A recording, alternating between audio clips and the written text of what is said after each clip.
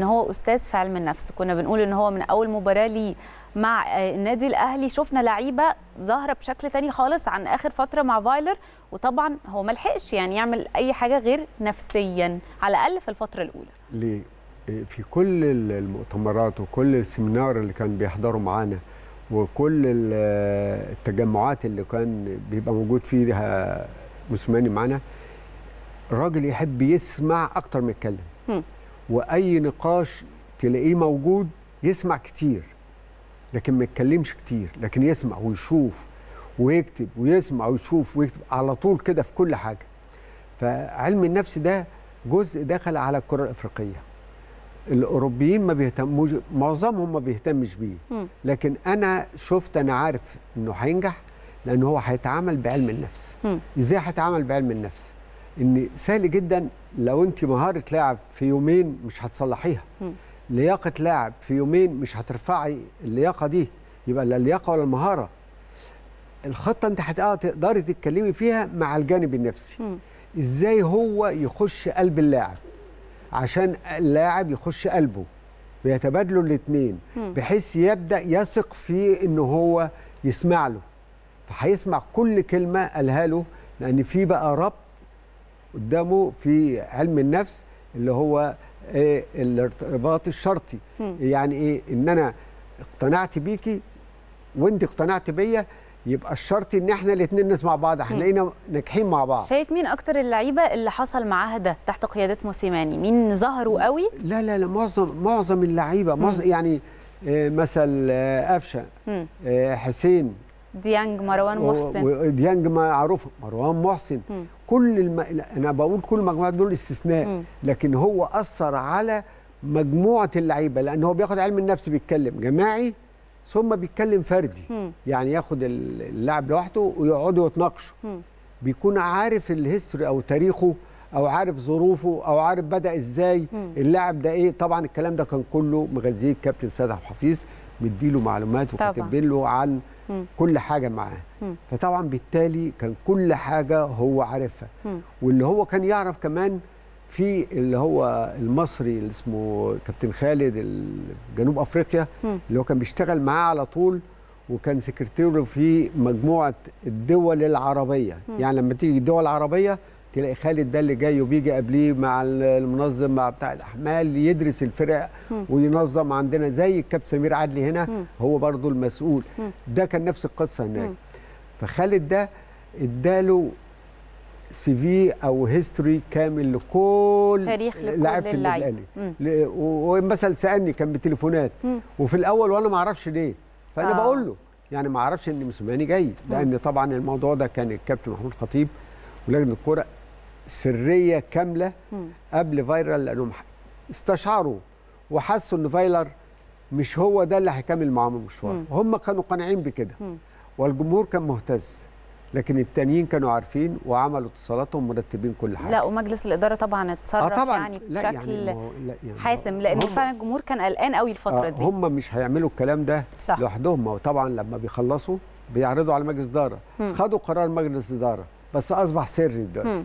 ما يتقالش مين اللي جاي ولا مين اللي رايح وامتى جاي وامتى جاي بس معروف قصته إيه مم. والسيناريو بتاع فايرال إزاي هيتحرك بيه. الراجل ده جه مشي وده جه هنا على طول يمكن في ممكن نتقابلوا بالطيارات في الهواء يعني في الجو. ده جه في نفس اليوم والتاني اللي كان مسافر. وبدون أي مشاكل وبدون أي حاجة وحس والتوفيق. كان في جانب مجلس الإدارة.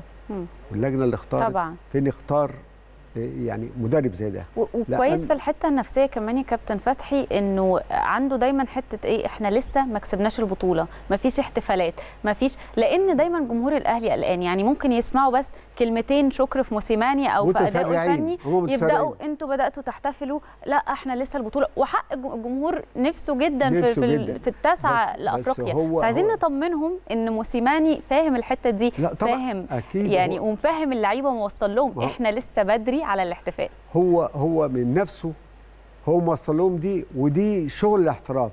أي مدرب محترف لا يمكن يعلن يعني لما كسبنا 2-0 هناك الوداد.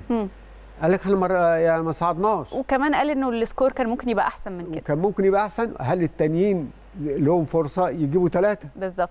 سهل جدا. يجيبوا اثنين ويلعبوا ضربات ترجيح. فعلا. كل ده كان جايز. لكن إحنا لم نصعد بعد. مم. دلوقتي إحنا لم نفوز بالبطولة. مم. فطبعا اذا هو موصل ده للعيبة كل مجهودكم من يوم من أول مباراة من أول ما كانوا بيلعبوا فريق زمان السودان اللي هو فريق يطلع بره. اللي كسبناه تسعة ده. لغاية هذه المباراة ده صراع مع الفرق الثانية. وكفاح مع الفرق الثانية للوصول لنقطة النهاية اللي هي إن شاء الله بإذن الله بإذن تكون الله. لصالح النادي الأهلي. بإذن الله طيب أنا عايزة أسألك عن الاختلاف اللي حضرتك شايفه ورصدته ما بين فترة موسيماني أول ما مسك الأهلي وما بين الفترة الأخيرة الفايلر مع الفريق بعد آه كورونا ما هو كده يعني حظلم مش حظلم آه، فايلر بعد الكورونا مش هو قبل الكورونا مم. دي وبالتالي فرقة النادي الأهلي بعد الكورونا مش قبل الكورونا مم. تبان من إيه تبان للمشاهد العادي تبان لنا لواحد فني يشوف. مم. أنا بص للعمود الفقري بتاع الفرقة. اللي هو حارس المرمى اثنين اللي قدامه المدافعين ثم الاثنين اللي هو زي آه، آه، اليو ديانج ومثل السولية ثم مثل صانع لعب ثم راس حرب. أما ألاقي الخط ده كل ماتش بيتغير فيه اثنين أو بيتغير ثلاثة. أعرف إن الراجل ده مش مركز في هذه البطولة. كانت بطولة الدوري وإحنا الحمد لله كنا مم. لكن هو ما كانش مركز بدليل إيه محدش يلعب في العمود الفقري محدش يلعب في أعمدة العمارة. أعمدة العمارة ما تلعبش فيها العب في أي حاجة تانية. في الحوائط الحامله لا, لأ الحوائط الساندة الشكل البتاع الحاجات دي كلها ممكن مم. فهو الراجل حسيناه إنه تغييراته كتيرة وتتقال علينا إيه؟ أصل هو بيعمل كده عشان يعمل التدوير ويعمل كده. تدوير إيه؟ طب لكن ما فيش أداء. ما فيش ما فيش لاعب بيشوط على الجول. ما فيش آه، ضربات ركنية ما فيش منها جوال. ما فيش آه، فرقة تحس إنها متماسكة مع بعضها. ما فيش شكل ما فيش احتفاظ بالكورة. كل ده ما كانش موجود. طب معنى إن مش موجود؟ يعني إحنا فاقدين الأهلية في النجاح في منظومة كرة القدم. فهو ده أنقذنا يمكن من نعمة ربنا علينا سبحانه. وتعالى إنه جاب لنا هذا الرجل. عشان يلم الفرقة تانية. بنفس اللعيبة بس قدر يلمهم بقى في شكل فرقة. بقى في عندك مهاجم بقى في عندك مدافع بقى في عندك فرقة بقى في عندك بتنقلي 20 25 آه، 30 نقلة صح ما دي كانت مفقودة. ما هي دي معنى إن أنت معاك الكورة وبتنقليها مع بعض أنت ما بتتعبيش ما تفقديش لياقتك وبتحس إن الفريق وحدة متماسكة في وما الملعب بتفقديش لياقتك والفرقة اللي وبتعمليها قدام صح. مين؟ قدام صح. فرقة كبيرة صح. ده الوداد الوداد ده يعني ده لاعب نهائي قبل كده بقى في كرة مفهومة يا كابتن ف- فتحي ف- دلوقتي آه. و- و- وفكرة شخصية البطل شخصية النادي الأهلي ما كان بقالنا فترة كبيرة قوي ما شفناهاش بره ملعب النادي الأهلي وده شفناه في مباراة ال- الذهاب مع الوداد. آه، تحت قيادة موسيماني مش طبعا مع فرقة سهلة. لا طبعا. يعني الوداد ده لوحده يعني قصة. ده الموسم اللي قبله. اللي هو لعب مع الترجي في النهائي. صح. يعني اللي حامل نقدر نقول يعني شبه حامل اللقب. مم. لأن الم- الماتش كان عليه مشاكل. طبعا. يعني ممكن نقول حامل اللقب إذا إنك تيجي معاه وتأدي بهذا الشكل وبعدين ترجعي هنا وتأدي بهذا الشكل مم. وهذا المستوى. وبدليل إن هو جه في الآخر في مم. ماتش الوداد الثاني مم. لما خرج الشناوي مم. وخرج آه، كام لاعب من اللي بيلعبوا حسين آه، مم. احد المجموعة دي وما كانش علي معلول بيلعب خرج على أساس يدي فرصة للاعيبه الثانية. ويحافظ مم. على القوة الضاربة عنده في الفرقة مم. منهم الشناوي لأنه كان جاي من إصابة مم. للمباريات القادمة أكيد ده كان تفكير الاعتراف- ذكي جدا من آه موسيماني طبعا مع الاعتراف خل- ان ان. إن مثل واحد زي علي لطفي ما نقولش هو غيره لأنه وحش لا، لا. ده هو غيره عشان يديله فرصة عشان طبعا. يحطه على التراك يحطه في البطولات الإفريقية. لأنه وارد إنه أي وقت طبعا أي حد أي حد أي. حد بالظبط خليني أسألك لو النهائي آه، مصري الأهلي والزمالك شايف ال- المباراة دي فنيا إزاي؟ هي فنية هتبقى المباراة خططية 100% هم. يعني هيبقى فيها شغل خطط كتير قوي. هيحكمها التوفيق. التوفيق لموسيماني في اختيار اللاعبين اللي هيشاركوا. في التوفيق للعيبة في انهم يوفقوا في تنفيذ الواجبات اللي بيقولها أو اللي معلمها لهم. موسيماني في طريق وخطة اللعب. توفيق الفرقة في إنها تكون تحتفظ بكيانها وارتباطها. توفيق إن يكون في حكم يدي لكل فريق حقه.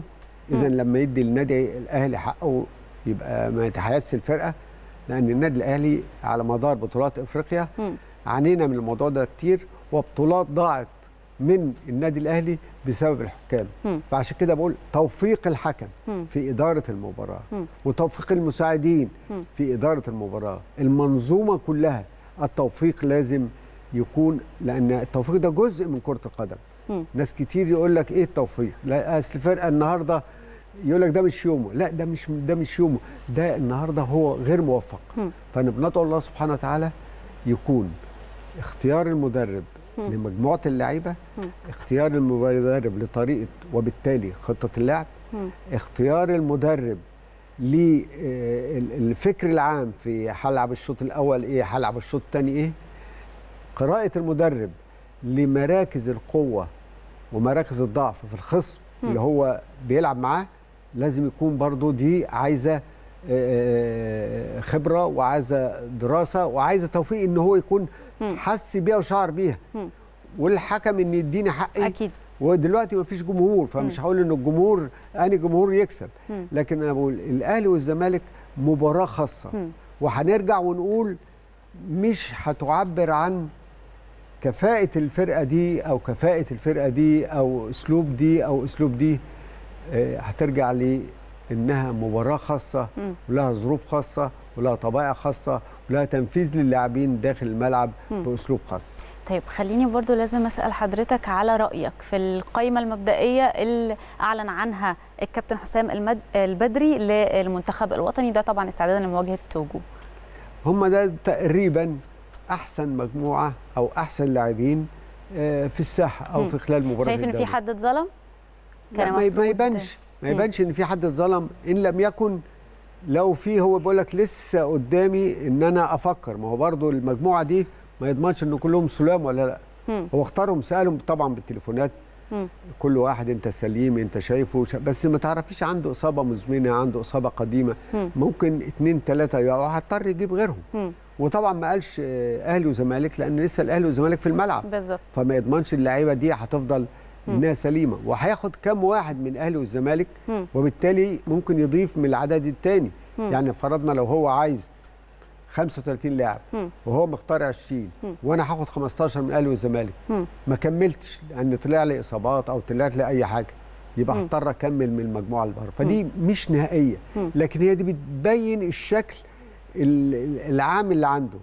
زائد مجموعة اللعيبة اللي هياخدها من. الأهلي والزمالك. بشكرك كابتن فتحي نصير نورتني النهارده في برنامج السادسة. أنا اللي بشكرك وبدعو الله سبحانه وتعالى النادي الأهلي بإذن الله بإذن الله مشي يوم السبت اللي جاي وهيستلم الدرع ده خلاص.